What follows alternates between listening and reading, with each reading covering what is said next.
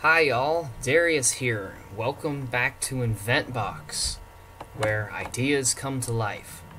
Now, this is number two for WebGL, and I want to uh, let's. We have a lot of ground to cover in this video, but let's wrap up and review the last one real quick.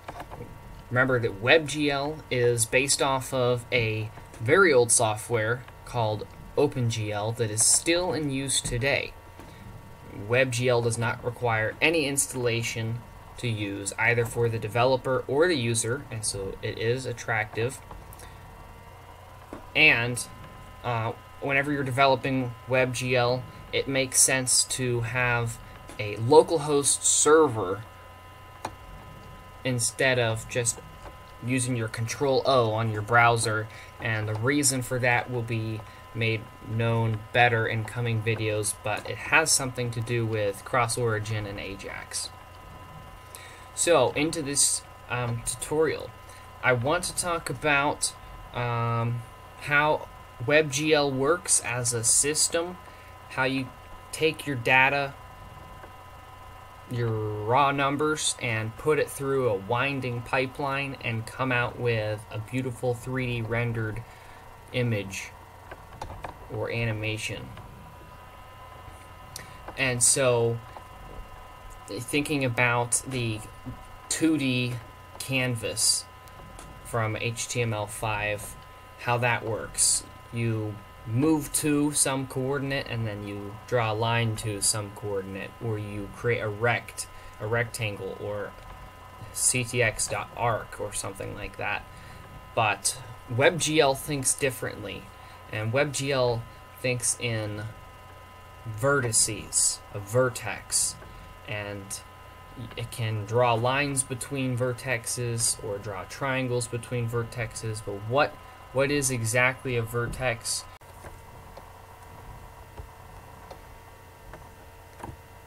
Let's see what Google says about vertex. It's a point where two or more lines or curves or edges meet. Okay, so something like this. You can see all these triangles are formed from the vertices. And we kind of get an overall shape. And the more triangles that you have, the more vertices that you have, the better the dolphin would look. This looks a little bit... Uh, little, I don't know, a little clunky. So the most important function of a vertex, of course, is to store coordinates in 3D space. Where is that point?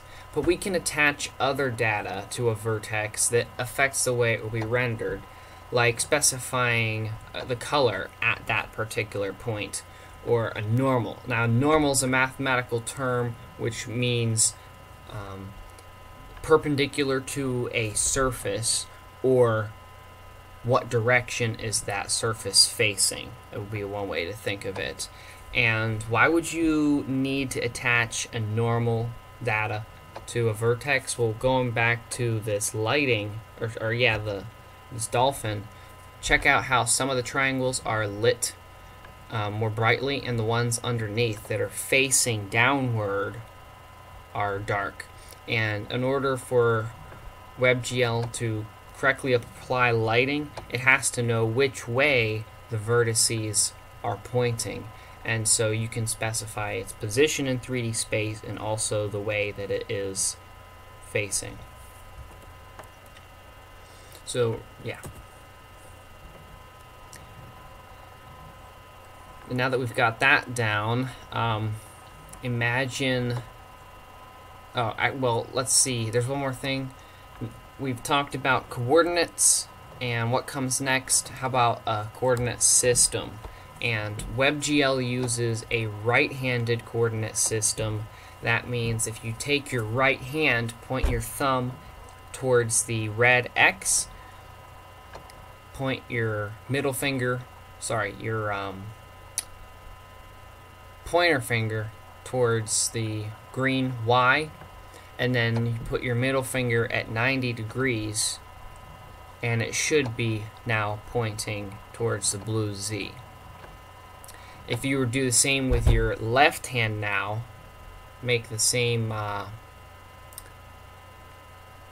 point your thumb right, pointer finger up, middle finger at 90 degrees, you will find that your middle finger is pointing towards negative z direction. Okay, now DirectX is a the sort of like the Microsoft equivalent of OpenGL. It'd be one way to think of it, and it, it happens to use a left-handed coordinate system. But this is not DirectX. This is WebGL, and we're doing right-handed. Okay, so z-axis is uh, towards you if x is to the right and y is up. Alright, so now we have like a couple, let's say we have a couple vertices and we want to go ahead and send them through WebGL the whole way and get them rendered up. What is that process going to look like? Well, it's kind of lengthy. So step one, we're in the CPU because JavaScript runs on the CPU and we'll create a float 32 array is just like a fancy JavaScript array. And we'll put a few basic vertices in. No normals, no colors. We'll just do X, Y, Z points, okay? And it's kind of in a rectangle formation. The next step is to send that data, those vert uh, vertices, into a buffer in the GPU. So a buffer is just a storage location for you know bytes and GPUs have lots of buffers and so you could assume just assume you can use as many buffers as you need um, and the, the, the buffers are all inside the GPU and not in the CPU you once you got your data stored there you can instruct WebGL to try to make sense of your vertex data and turn it into some and try to construct some type of shape out of them out of and what I'm by that I mean you could tell it to just draw the points as they are draw four points on the screen but it could also take the first two points and create a line and then create a line to the third point and then create a line to the fourth point. So you could represent vertices as the um, in between line segments or you could take three points and create a triangle. You could take four points and create a, a rectangle. So you have to tell WebGL what type of primitives or how it should interpret your points then it will pipe that through to a shader program and the shader program consists of two shaders. And a, a shader, the best way to think of it, uh, would be something that um, determines what shade of color it will output to the screen. That's, in my mind, the best way you can. Uh, I mean, that, that's a good analogy. The vertex shader uh, has a simple job, and that is to take the incoming vertex data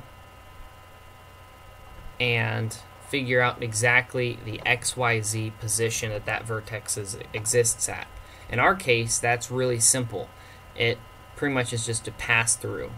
Takes the XYZ from the buffer and gives it directly to WebGL and says, here, that's where it is. Now, you might, in more complex situations, want to manipulate those coordinates a little bit. Um, but then it will go to the fragment shader. The fragment shader is interp it runs once for every pixel on the whole screen. And the way it does that is it starts at one vertex and then it interpolates all of the coordinates, all the in between until it reaches another vertex. And then it will do that till the next vertex. And it overall eventually hits every single pixel. And so you can, the simplest way to reduce a fragment shader is a mathematical function that takes a coordinate xyz and transforms it into a color. So every pixel coordinate it will output some color. And finally, when the fragment shader has done its job and rendered up a beautiful image, there's a double buffer that WebGL uses. And a double buffer is like two independent drawing canvases. One of them is always hidden, the other is visible. And WebGL will use the hidden one as a scratch pad while it's running the fragment shader and well and the the whole shader program and it will fill up the hidden uh, buffer the hidden um, canvas I guess and as soon as it's full it will switch places with the visible canvas and then it will immediately start writing the next frame on the one that just became invisible. And the whole purpose of that is that it will not be scanning pixels across the screen, constantly updating the same display that the person's looking at. So if it didn't have a double buffer, you'd be able to see the pixels changing. Well, I mean, maybe on a slower computer or if it was getting bogged down or you looked really closely, you'd be able to see the pixels scanning across and changing. So that's not cool. The double buffer ensures that all the pixels change at the same time. You don't have to do anything with the double buffer in terms of code. WebGL handles that all completely, but we will have to load into buffers um, or the GPU buffers here and write the vertex and fragment shader. Oh, okay, and then bam, we have our rectangle drawn on the screen. Isn't it nice? And once you have this drawn on the screen, um, well, for a rectangle, you probably, that's that's enough. But you'll notice there's one other little box here, and that is uniforms. And these are basically global variables or a way that you can have the CPU communicate with the shader program. And you might do this for special things that you want to change that don't in any way involve your 3D points, your vertex, your vertices. So it might be like changing the sun position.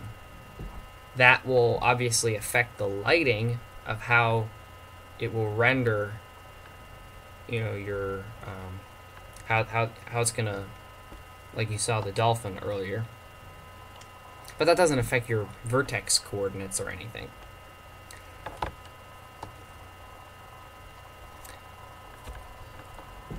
wow so that was a whole bunch and you might be thinking why why can't OpenGL just be easy like 2D canvas? And the the simple answer is remember our goal. Canvases can only draw in 2D or with the 2D context. And WebGL is for 3D. We can eventually come to things like this.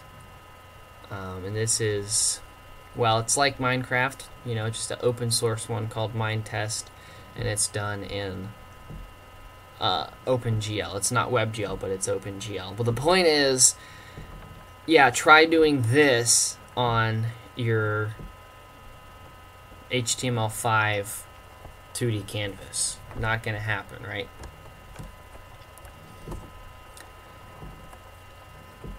Okay, so that was um, basically a, I don't know, a, a bombshell or just a bunch of information all at once, especially with this illustration. Um, but the big takeaway is that anytime you are drawing something in WebGL, it's all about the vertices. And you know, the more vertices you have, the more advanced rendering you can create, more realistic rendering, the more data you can attach, such as lighting information or material properties like shininess or if whether or not it's lighting up, those also will make your renderings more interesting and more lifelike. But it all comes down to uh, vertices. So not a lot of coding in this tutorial. It's mostly theory, and that's because there's plenty enough theory and we need to we need to have some kind of grounding before we can begin. So the next tutorial, I promise, we'll get to some JavaScript. Um, thank you for watching. Please ask comments um, or ask questions. And because this stuff is not necessarily intuitive, and you can go online and find help, or you can ask me, but we want to get things clarified and um, clear as mud, as they say, before we get on to the next tutorial. Alright, uh, thank you for watching. We will see you then.